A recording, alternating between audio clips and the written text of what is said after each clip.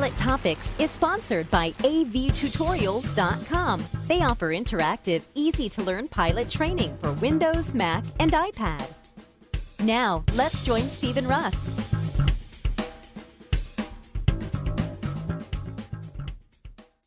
Welcome to Quick Pilot Topics, episode number one. I'm Steve McNeely. I'm an airline pilot, flight instructor, flight engineer, a former examiner, and I'm also an A&P mechanic. I'm joined here by my brother Russ, and he's got some good questions today. So, Russ, fire away. Hi, everybody. So, Steve, I have questions about laser illumination at pilots. I've heard this can cause temporary or even permanent vision problems. Oh, yeah. You know, this really is a big problem for pilots, and this is something that popped up really just uh, very recently. So, what's being done about it? Uh, that's a good question. Uh, back in February of 2012, a public law was actually passed uh, by the government establishing a prohibition against aiming laser pointers at aircraft. There's really been a significant increase of unauthorized laser illumination at aircraft, as well as uh, a general proliferation, uh, there's a big word, and increased uh, sophistication of laser devices that are available to the general public and other parties. So, because this is kind of a problem, the FAA and other government studies show that the exposure of air crews to laser illumination can cause some pretty uh, hazardous effects. Uh, you know, we're talking about distraction, glare, afterimage, flash blindness, and even in some extreme circumstances, persistent or even permanent visual impairment. Oh, sounds like a headache. So, what does a pilot do if they've been hit with a laser? It's really serious. If you're talking to ATC, pilots are requested to immediately report any incidents of unauthorized laser illumination by radio to the appropriate ATC controlling facility.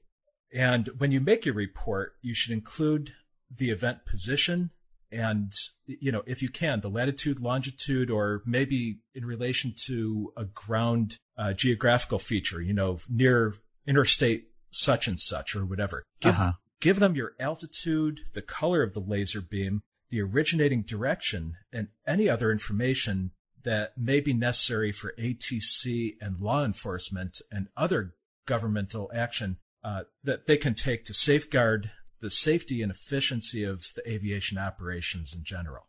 Huh. And if uh, let's let's say also that you're flying in uncontrolled airspace and you're not talking to a controller, uh, pilots really should immediately broadcast a general laser illumination caution on the appropriate Unicom or CTAF frequency, and this general caution should include the exact phrase unauthorized laser illumination event.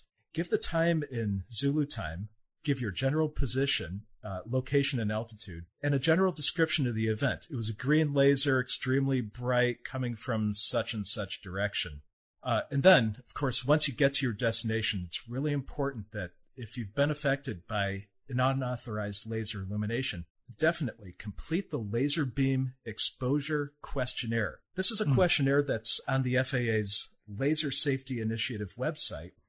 Uh, and let, let me just give the address real quickly. It's faa.gov slash about slash initiatives slash lasers. Okay.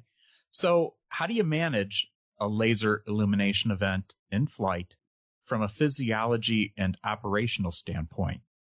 Uh, it really kind of depends. Uh, pilots operating IFR should obtain ATC authorization prior to deviating from their assigned clearance, if that's possible. Uh, but in the event in, in the event a pilot is unexpectedly exposed to laser illumination, really what you've got to do is avoid direct eye contact with the beam. Uh, and if possible, shield your eyes to the maximum extent possible in accordance with control, uh, controlling the airplane and maintaining general safety. You know, generally speaking, ATC understands that under these circumstances, air crews may regard the event as an in-flight emergency and may take evasive action to avoid further exposure to the laser.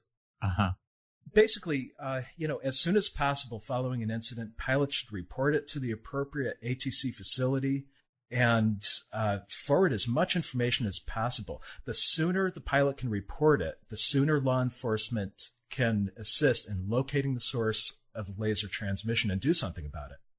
Okay. So, what happens to a person if they get convicted of a laser event at aircraft? Uh, I can't say that good things happen to that person. Okay.